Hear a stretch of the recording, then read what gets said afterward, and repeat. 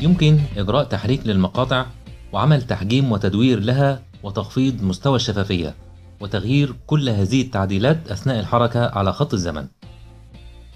نستورد ملفات للمشروع. وننشئ تركيب جديد. ونسحب مقطع داخل التركيب فتنشأ طبقة. وعند فتح هذا السهم تظهر الخصائص. وأمامنا المجموعة الأساسية من الخصائص وهي التحويل transform وتشمل تحريك الطبقة وتحجيمها وتدويرها وتغيير درجة الشفافية. نبدأ بتحريك الموضع position والتحريك يتم بسحب الطبقة. وعند الضغط باستمرار على مفتاح shift تتقيد الحركة في خط مستقيم أفقي أو رأسي. كما يمكن عمل تحريك أفقي من هذه الخانة وتحريك رأسي من هذه الخانة. ولكل خاصية زر stop watch ساعة توقيف. وتفعيلها يؤدي لإنشاء مفاتيح حركة على خط الزمن. نحرك المؤشر ونحرك موضع الصورة فنلاحظ أن التحريك يتم مع مرور الوقت. الخاصية الثانية وهي التحجيم scale لتكبير وتصغير المقاطع باستخدام المقابض. كما يمكن التصغير والتكبير من هنا.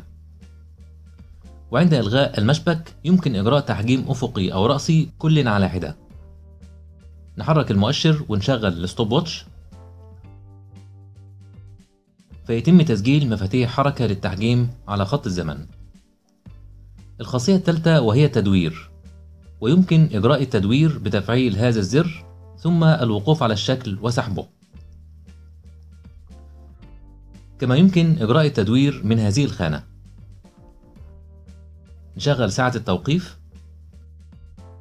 ونقدر نجري التدوير من هنا أو كتابة عدد مرات التدوير من هنا. نلاحظ المقطع يدور بمقدار دورتين. الخاصية الرابعة وهي الشفافية بتحديد قيمة لها. نشغل ستوب واتش فنلاحظ الاختفاء المتدرج للمقطع. نعاين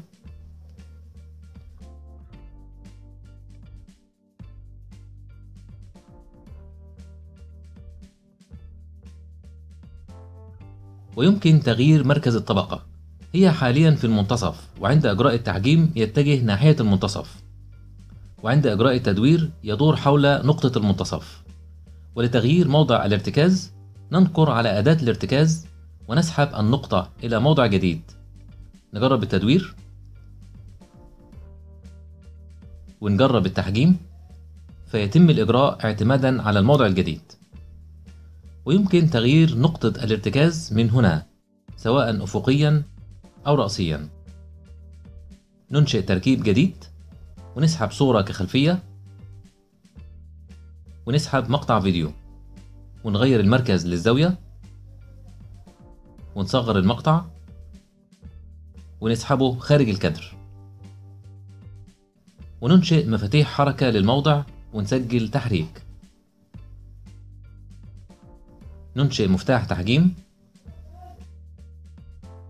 ونكبر المقطع. ننشئ مفاتيح تدوير وشفافية.